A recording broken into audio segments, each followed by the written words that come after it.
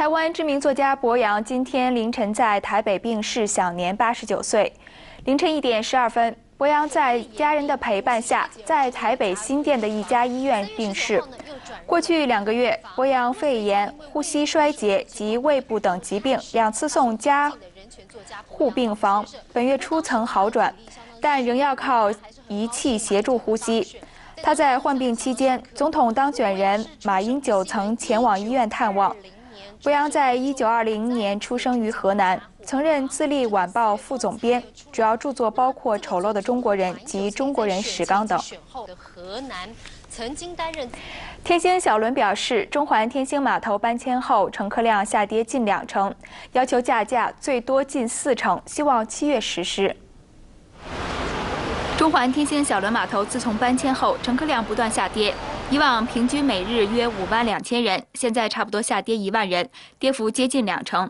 天星小轮公司已经向政府申请加船票，升幅最多四成，还首次引入平日与假日不同收费。以上层成人收费为例。目前的票价是两块二，建议平日收费两块五，假日收费三块。至于小童方面，由目前的一块三加至平日的一块五和假日的一块八。我哋喺加價嗰陣時，其實已經係考慮到咧乘客嗰個誒接受能力啦。咁所以咧，我哋咧只係咧喺今次嗰個建議加幅裏邊咧，我哋講緊係三毫子嘅加幅。咁啊，所以啊誒，即係即使譬如話嚟緊嗰陣時誒會有，即係會有一個風險，就係話我哋即使加咗加咗價咧，都係有嗰個誒。誒誒五百五百五十萬呢一個咁嘅虧損。他表示，油价及经营成本也不断上升，要开源节流，已经向政府申请附近用地，增加非票务收入。市民对于小轮加价表现得很无奈。呢个加幅你接唔接受咧？四成？誒，都可以下啦，最好唔好再加啦，再加頂唔順。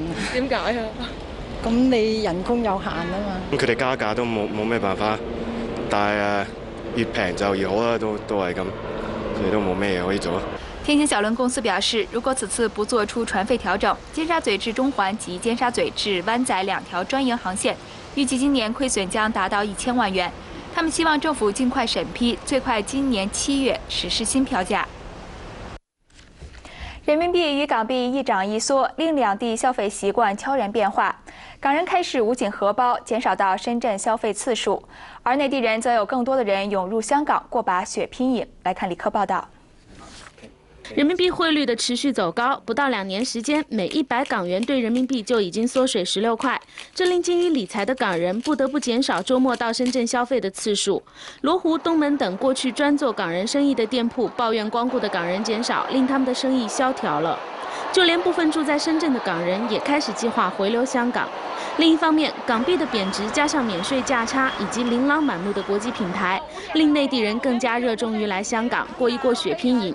特别是内地年初奶粉大幅加价后，珠三角有不少人来港城乡抢购奶粉，使本港奶粉一度断货。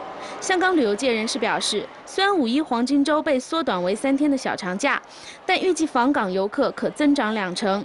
另据港府公布，一月份香港零售业总销售值比去年同期增长百分之二十三，达到两百五十七亿元。港府分析指，内地游客是一股不可忽视的增长动力。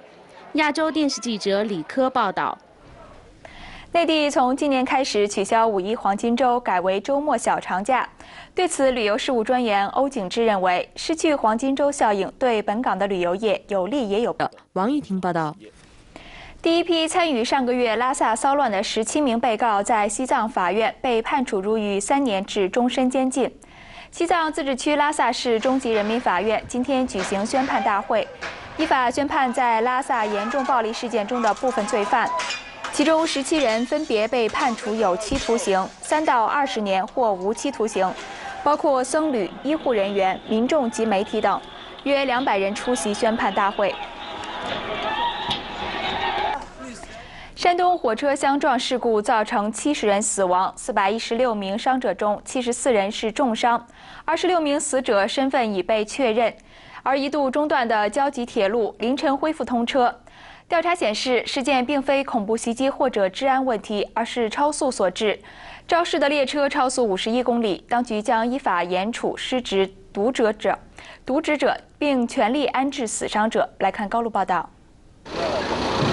标记铁路经过几千名工人二十二个小时的抢修，于凌晨两点十六分恢复通车。早上繁忙时间，每隔半个小时就有一班列车经过。几百名公安武警在现场加紧清理列车残骸，估计起码还要用三十个小时才能完全运走。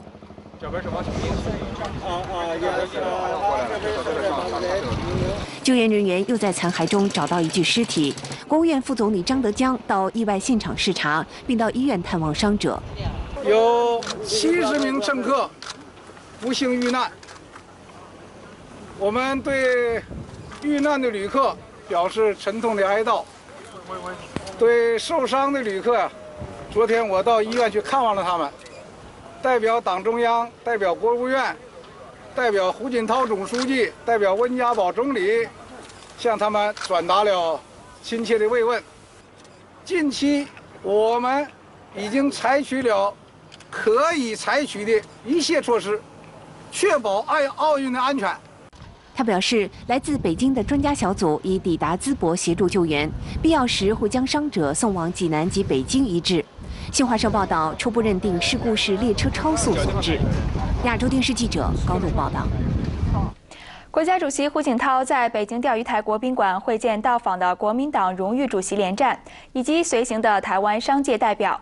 双方将就马肖的两岸政策如何构建稳固两岸和平稳定的关系等方面进行沟通。这是连战自零五年首次访问北京之后第四次与胡锦涛会面，也是国民党赢回台湾执政权后首次见面。连战将于明天离开北京，到访重庆和武汉等地，五月六号返回台北。早上，连战在北京市长郭金龙的陪同下主持雕塑水秀的安放仪式。连战表示，国民党在八年后重夺政权，应该以开阔的心胸，逐步实现两岸和平发展的目标与共识。来看高露报道。连战在北京市长郭金龙的陪同下，在奥林匹克公园为雕塑水秀主持安放仪式。水秀是连战两年前赠送给胡锦涛的礼物。胡锦涛建议将作品放大到七米高，作为北京奥运的建筑雕塑。连战说：“水秀能够纪念国共交流，象征两岸和平，也连接着两岸的感情。国民党重新执政后，两岸要共同完成和平发展的目标，是要有一种很开阔的一种心胸，来实现我们大家共同的一个总的方向、总的目标，那就是和平发展了，啊，逐步的来完成两党，啊。”对于两岸未来规划的所谓五点的愿景和共识，郭金龙表示，奥运一直获得台湾民众的支持，北京会加倍努力筹备奥运。另外，连战在会见北京市委书记刘奇时表示，相信北京能够成功的举办奥运，也希望台湾运动员能在乒乓球、棒球和跆拳道等项目中取得好成绩。亚洲电视记者高露报道。世界卫生组织第十一次拒绝受理台湾的总统陈水扁提出的加入世卫的申请。台湾行政院发言人表示，是北京幕后主导，令世卫拒绝接纳台湾的申请。印尼的一批持枪歹徒劫持五名中国技术人员，勒索大约十万美金的赎金。